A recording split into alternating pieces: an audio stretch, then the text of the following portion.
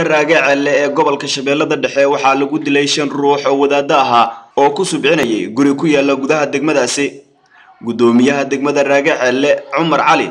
oo la hadlay warbaahinta city ayaa sheegay in dilka uu yahay mid ay geysteen. Mid ka mid ah beelo walaalaha oo ku sugan gudaha degmada raage celle uuna yahay mid daba socda dagaal beeleed horay u dhex maray labadan maleeshiyeed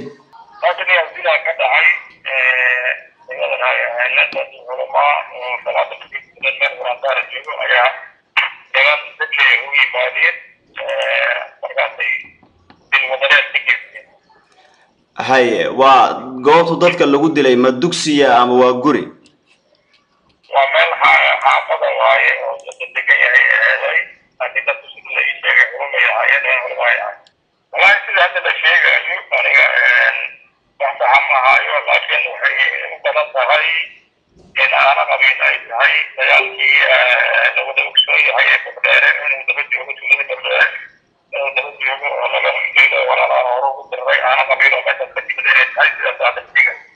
guddoomiyaha oo hadalkiisa sii wata ayaa sheegay in kooxihii dilka geystay ay goobta isaga baxsadeen balse la ogyahay halka ay joogaan. Isaga oo intaasi sii raaciyey in hadda ay ku guda jiraan aaska dadka la dilay goobta waa ka baxsadeen laakiin hadda dad oo la ogyahay waayo sida wararku u soo gaarayaan oo haddaan ku sheego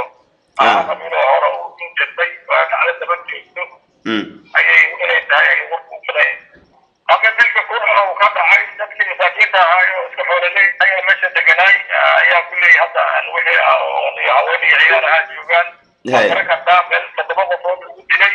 inaysan nin raga uusan joogi karin markaas waa wixii joog way ka carreen oo way ka maateen meydkiina hadda la dugu haya oo laga soo qaado degmada raagaceela la dugu haya magaalada lagu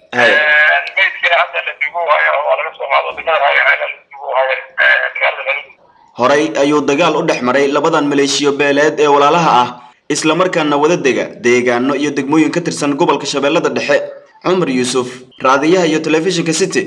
muqdisho